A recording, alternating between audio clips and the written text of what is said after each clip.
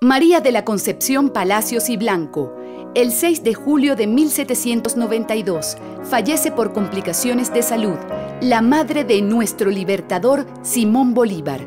quien próximo a cumplir nueve años de edad, sufrió el dolor de la orfandad,